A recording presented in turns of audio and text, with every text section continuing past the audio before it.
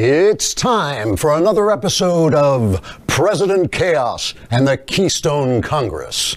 In our last exciting installment, with health care reform nearly dead, Donald Trump demonstrated he had the skills to be a good president by cat wrangling the Keystone Congress into reviving the bill.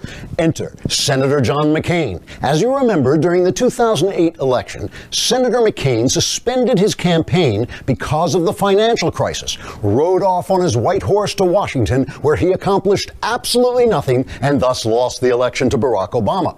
Well, it turns out McCain just kind of enjoys riding a white horse to Washington for no reason and losing things. Because last week, he left his hospital bed, rode his white horse to Washington, voted to vote on the health care bill, then voted it down because that's just how he rolls.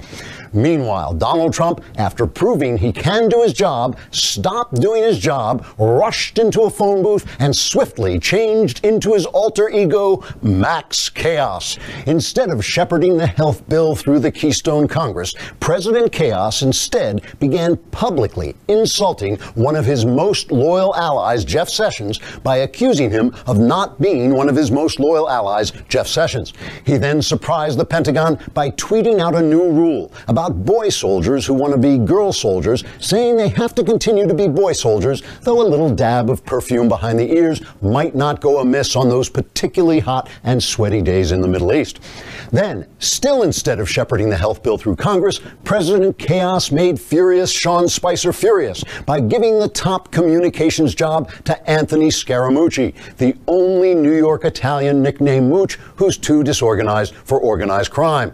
Mooch then called a left wing reporter at The New Yorker and revealed that Steve Bannon is attempting to perform oral sex on himself, proving that at least one member of the administration is working on something important a technological advance that would improve the lives of America's men by allowing them to have sex without paying for dinner.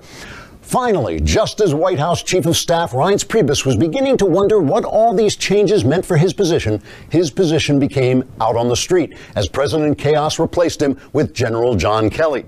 So there are now so many generals and family members in the administration, the country has begun to look like Venezuela, except without the civil war.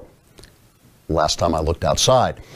Meanwhile, on the Democrat end, new information became public showing that President Barack Obama spied illegally on almost everybody. Hillary Clinton colluded with the Russians to get dirt on Trump, Chuck Schumer has given up on capitalism, and Debbie Wasserman Schultz has been up to God knows what with a Pakistani IT guy. That's right, President Chaos and the Keystone Congress are still doing a far better job than the Democrats. So that's good news, I think.